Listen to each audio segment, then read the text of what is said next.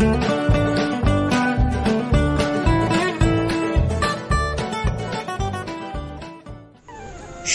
সবাইকে। আমি আজ আবার একটা নতুন ভিডিও নিয়ে চলে এলাম। সবাইকে দেখার জন্য আমন্ত্রণ জানাই। কেমন আছেন সবাই? আমি রোজ সকালে উঠে এই ব্যালকনির শাটারটা খুলে বেশ কিছুক্ষণ দাঁড়িয়ে আকাশটা দেখি। ভোরের আকাশ দেখতে খুব ভালো লাগে। ঘরের বিছনাটাকে ভালো করে ঝেড়ে নিয়ে বালিশগুলোকে একটার ওপর একটা সাজিয়ে রাখলাম। আর তারপর টেডি বিয়ারগুলোকেও ওখানে সাজিয়ে রেখে রাখলাম। চলে এলাম। ব্রেকফাস্ট, রান্না সবই তো করতে হবে।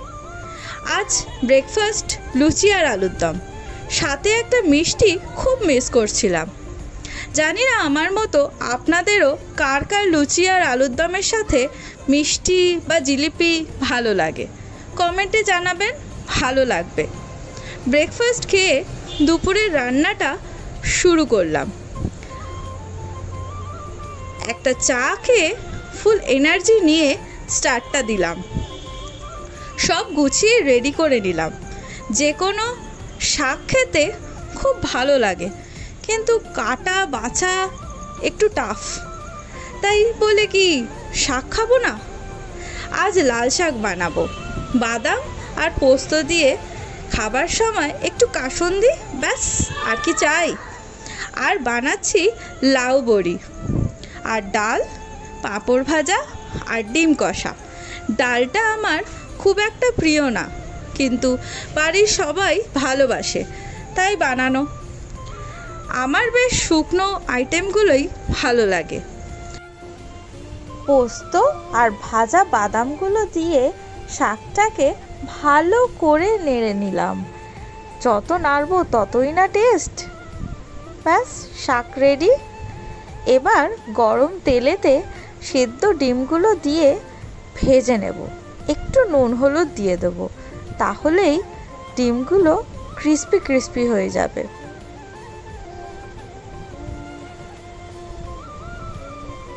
এবার তেলে গরম মশলা ফোড়ন দিয়ে পেঁয়াজগুলো ছাড়বো।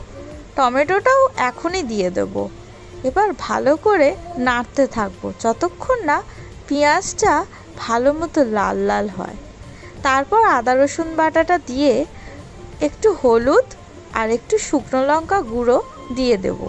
তারপর কষবো, ভালো করে কষবো। যত কষবো ততই রান্নার স্বাদ বাড়বে।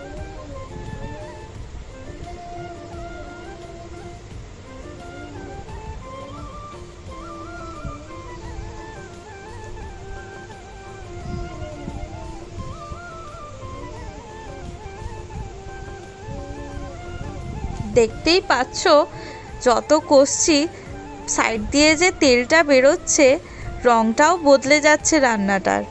কি সুন্দর দেখতেও লাগছে, বলো? টেস্টি তো হবেই। ডিমগুলো দিয়েও নেড়ে নিতে হবে। তাহলে বেশ ভাজা ভাজাটা ভালো হবে।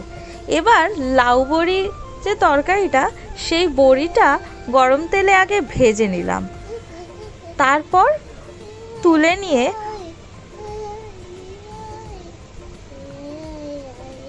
একটু জিরে ফোড়ন দিলাম আর শুকনো লঙ্কা ফোড়ন দিলাম।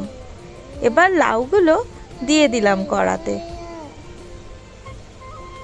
ভালো করে উল্টে পাল্টে দিচ্ছি, নিচ থেকে ওপরে তুলে তুলে। ভালো করে ভাজা হয়ে গেলে বড়িগুলো মিশিয়ে ভালো করে নেড়ে নিচ্ছি। ব্যাস, আজকের মেনু রেডি ডাল, শাক ভাজা, ডিম কারি, লাউ বড়ি। রান্না প্রায় শেষ, রান্না শেষ।